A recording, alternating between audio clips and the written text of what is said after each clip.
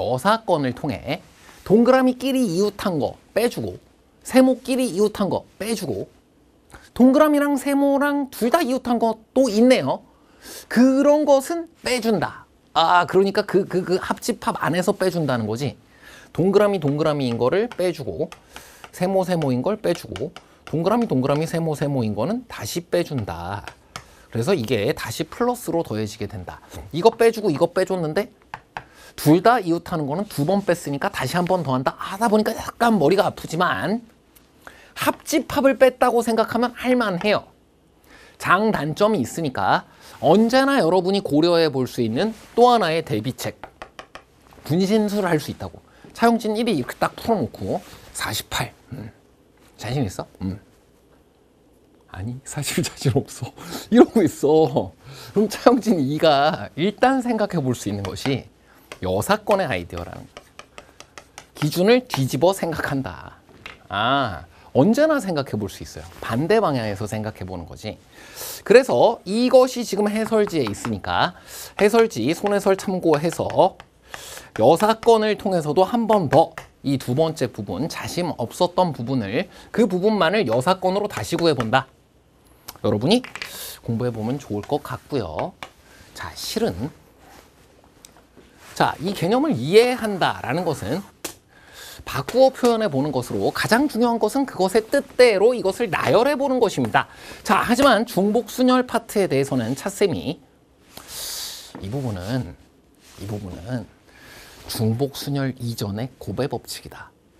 이 부분을 강조했을 거예요. 강조했을 거예요. 고작 고배 법칙이야. 그래서 어떻게 세웠냐라는 그 기본 원리를 이용하면 이런 것도 가능하거든. 다른 풀이에요. 놀래면 안 됩니다. 어.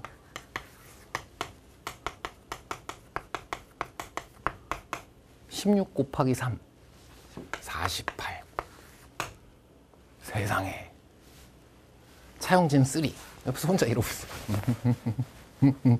나는 기본 원리도 공부했지롱 음, 음, 음. 자 그냥 이렇게 한 게 아니에요 그냥 숫자 맞춰서 그냥 한 게 아니라 이 또한 기본 원리를 통해 발견한 것이다 중복 순열 뿐만이 아니라 순열 즉 파이 뿐만 아니라 P factorial 등의 기본 원리가 모두 같다. 그래서 이것은 우리 교과서에서 이름이 뭐냐? 여러 가지 순열이에요. 순열이란 무엇이냐라고 했을 때 이렇게 답할 수 있어야 되는 거야. 곱의 법칙을 기본 원리로 한다. 우리의 확률과 통계 교과 과정은 조합을 먼저 공부하는 조합론 이런 것이 아닙니다. 순열의 수를 곱의 법칙으로 먼저 구한 다음에 더 세어 나간 것이 있으면 그걸 나누어 가며 조합의 수를 구해 나가는 과정이에요.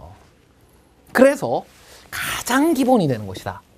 그 다음은 겹친 것을 나누어 제외하고 빼주고 조정하는 과정이다. 이렇게 이해하시면 되는데 이걸 그럼 어떻게 발견하냐? 차쌤 뭐라고 대답을 할까? 이제 지금 알 것 같은데 부자로 나열입니다. 단 그 나열을 좀 다른 방법으로 해보는 거예요. 고배 법칙 뿐만 아니라 곱셈 정리 등에서 매우 유용한 게 있어. 아니 아니 아니 수, 수형도 방금 전에 멈춰서 이게 뭔가 생각한 친구 있으면 미안해요. 아, 이게 두음을 잘못 생각했어. 자, 고배 법칙이나 곱셈 정리 등을 이해하고 이용하는데 큰 도움이 됩니다. 그리고 평가원 출제 매뉴얼에 적혀 있는 나열의 방법, 표를 이용하고 수용도를 이용하고 그래프를 이용하고 그것이 그런 거예요.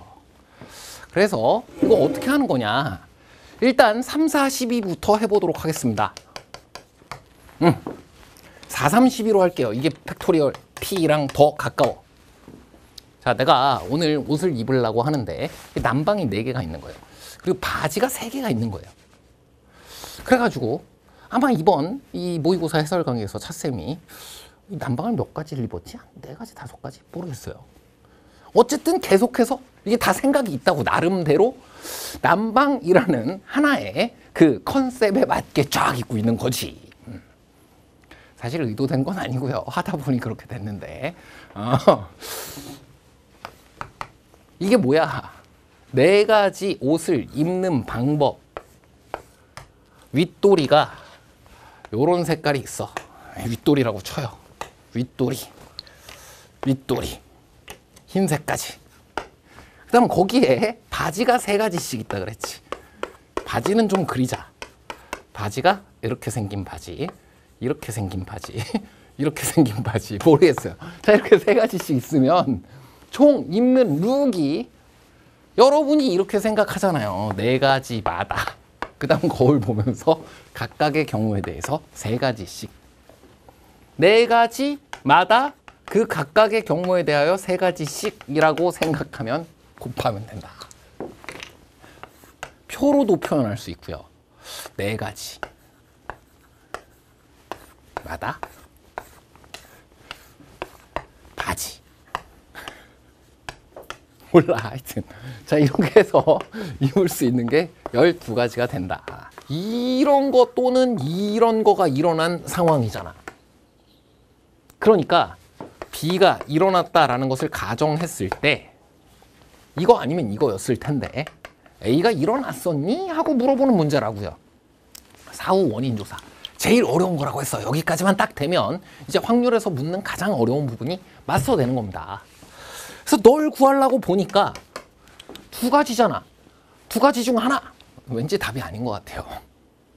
아, 이것은 차쌤이 개념 강의에서는 그런 식으로 얘기했던 거랑 비슷한 것 같아. 차쌤이 이종 격투기 선수와 둘이 격투기를 했을 때 이기거나 질 거 아니니? 그러니까 이길 확률은 2분의 1이야. 아, 그렇게 생각하면 큰일 나지.